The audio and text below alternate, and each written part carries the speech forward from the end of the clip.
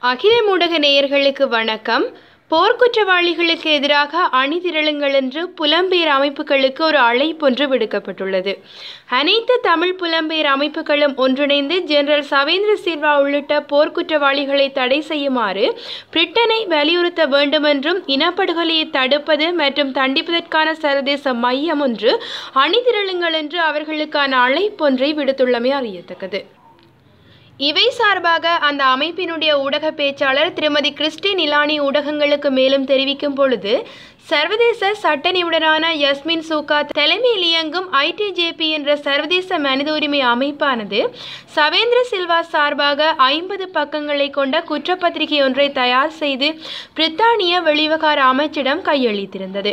அதன் அடிப்படையில் சவேந்திர சில்வா உள்ளிட்ட இலங்கை போர்க்குற்றவாளிகளை கடந்த வருடம் ஜூலை மாதம் நடைமுறைப்படுத்தப்பட்ட பிரிட்டனின் உலகளாவிய மனித உரிமைகள் சார்பான தடை விதிப்பு அதிகார சபையின் கீழ் தடை செய்வதற்கு நடவடிக்கை எடுக்குமாறு கடந்த முதலாம் திகதி இனப்படுகொலையை தடுப்பது மற்றும் தண்டிப்பதற்கான சர்வதேச மையத்தால் கோரிக்கை ஒன்று விடுக்கப்பட்டது நாம் செய்திகள் வாயிலாக அறிந்த ஒரு விடயம்.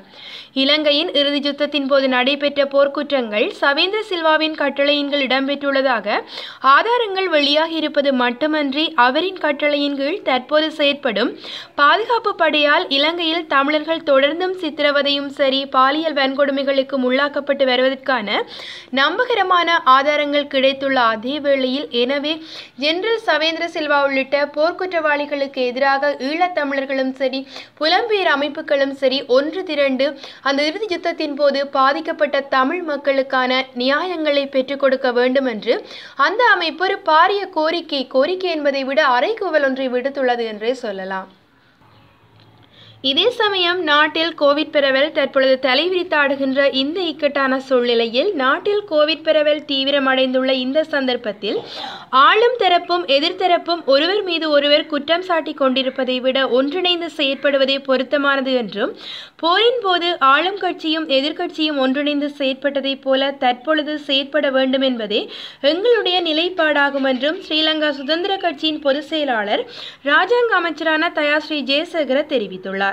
இவை சார்பாக மேலும் கருத்து வெளியிட்ட அவர் நாட்டில் தற்போது காணப்படும் கோவிட் பரவல் நிலைமை அரசினதோ அல்லது எதிர்க்கட்சியினதோ பிரச்சனை அல்ல அனைவரும் முகம் கொடுத்துள்ள நெருக்கடியாகும் என்றும் குறிப்பிட்ட அவர் முழு நாட்டையும் முடக்குவதன் ஊடாக மாத்திரம் இதனை கட்டுப்படுத்த முடியாது எனவே போக்குவரத்துக்களை வரையறுத்துக் கொண்டு முகக்கவசம் அணிதல் உள்ளிட்ட அடிப்படை சுகாதார பாதுகாப்பு விதிமுறைகளை பின்பற்ற வேண்டும் என்றும் கேட்டுக்கொண்டுள்ளார் இந்த நெருக்கடியான சந்தர்ப்பத்தில் ஆளும் கட்சி எதிர்க்கட்சி உள்ளிட்ட அனைவரும் ஒன்றிணைந்து செயற்பட வேண்டும் என்றும் ஆளும் கட்சியும் எதிர்க்கட்சியும் ஒருவர் மீது ஒருவர் குற்றம் சுமத்தி கொண்டிருப்பதால் இந்த பிரச்சனைகளுக்கு எல்லாம் தீர்வு காண முடியாது என்றும் சுட்டிக்காட்டியுள்ளார். இவை மட்டுமல்லாமல் பாராளுமன்ற உறுப்பினர்கள் அனைவரும் ஒரே நிலைப்பாட்டில் வைரஸ் பரவலை கட்டுப்படுத்த நடவடிக்கைகள் எடுக்க வேண்டும் என்பதை அறிவுடைய மக்கள் எதிர்பார்க்கின்றார்கள் என்று அவர் மேலும் சுட்டிக்காட்டியுள்ளமை அறியத்தக்கது.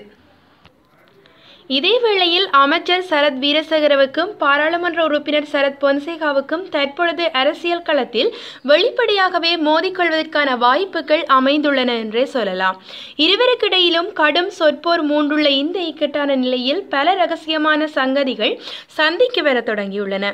மிருசுவில் படுகொலையுடன் சார்பான படை அதிகாரி சுனில் ரத்னநாயவுக்கு ஜனாதிபதி பொது மன்னிப்பு வழங்கப்பட்டமை தவறு எனவும் குற்றம் சாட்டப்பட்டவர்கள் எப்படி விடுவிக்கப்படுவார்கள் என்பது வியப்பு குறிப்பாகவே உள்ளது என்றும் பாராளுமன்றத்தில் வைத்தே சரத் பொன்சேகா கருத்து வெளியிட்டிருந்த இந்த சூழ்நிலையில் இவற்றுக்கு பதிலடி கொடுக்கின்றேன் என்று சரத் வீரசேகர அவர்கள் புலம்பெயர் தமிழர்களிடமிருந்து டாலர்களை பெற்றுக்கொண்டே சரத் பொன்சேகா இவ்வாறு கதைக்கின்றார் எனவும் படையினரை காட்டிக் கொடுக்கும் அவர் ஃபீல்ட் மார்ஷல் பதவியை வகிப்பதற்கு தகுதியற்றவர் என்றும் அவர் மேலும் விளாசி தள்ளியுள்ளார்.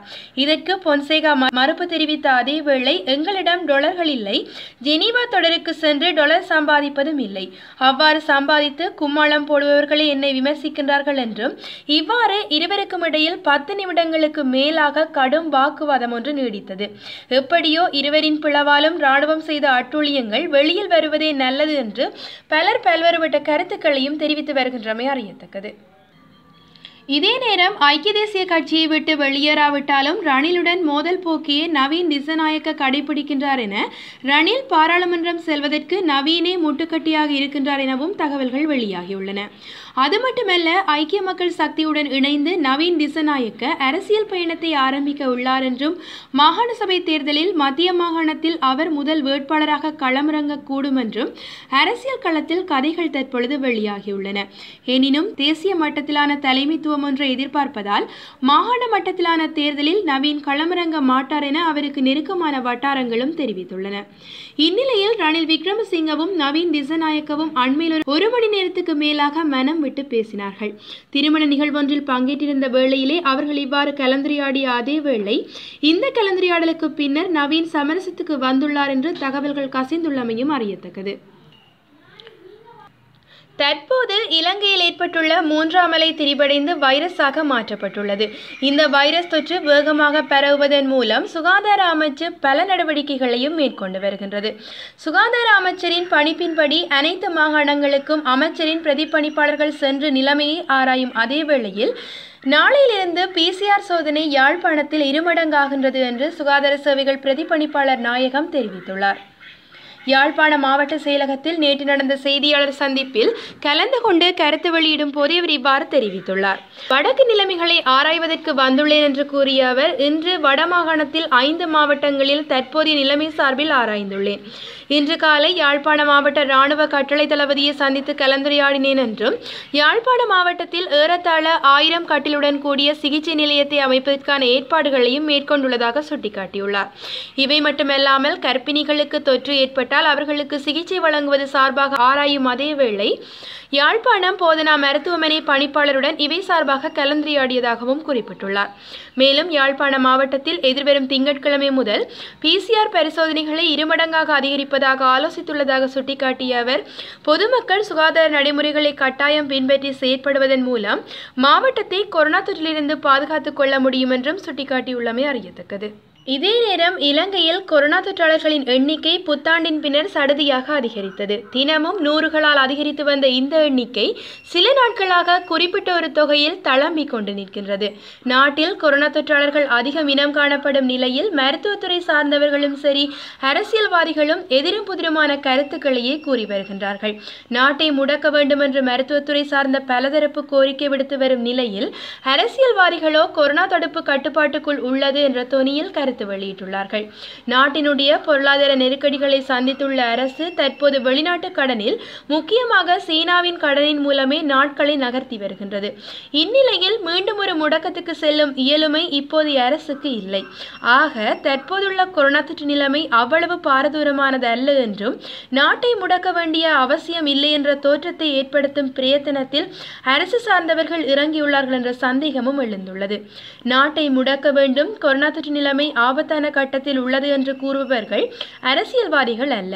அவர்கள் அரசியல்வாதிகளாக இருந்தார்களானால் அவர்கள் அரசின் மீது காழ்ப்புணர்ச்சியில் கூறுகின்றார்கள் என்று கூறலாம். ஆனால் இந்த விடயத்தை தொடர்ந்தும் வலியுறுத்தி கொண்டிருப்பவர்கள் கொரோனா ஒழிப்பு நடவடிக்கைகளில் முன்களத்தில் பணியாற்றுபவர்கள். பொது சுகாதார பரிசோதகர் சங்கம் விசேட வைத்திய நிபுணர் சங்கம் மற்றும் மருத்துவ அதிகாரிகள் சங்கம் என மருத்துவத்துறையுடன் சார்புபட்ட தரப்புகளை இந்த எச்சரிக்கையை தொடர்ந்து அரசுக்கு முன்வைத்து வருகின்றது. இந்த தரப்புகள் புத்தாண்டின் பின்னர் நாட்டில் கொரோனா தொற்று அதிகரிக்கும் புத்தாண்டு காலத்தில் பயணத்தடைகளை விதிக்க வேண்டும் என்று கோரிய போது அதை காதில் போட்டுக் கொள்ளாதிருந்த அரசு தற்போது மக்களின் பொறுப்பற்ற செயற்பாடே தொற்று வீரியமடைய காரணம் என்று கூறி வருகின்றமை ஒரு கேளிக்கைக்குரிய விடயம்தான். புத்தாண்டின் பின்னர் தினம்தோறும் கண்டுபிடிக்கப்படும் தொற்றாளர்களின் எண்ணிக்கை அதிகரித்து வந்த நிலையில் சில நாட்களாக அந்த தொகை ஆயிரம் தொள்ளாயிரங்களில் தளம் தட்டி கொண்டிருப்பது மக்கள் மத்தியில் மிகப்பெரிய சந்தேகத்தை எழுப்பியுள்ளது.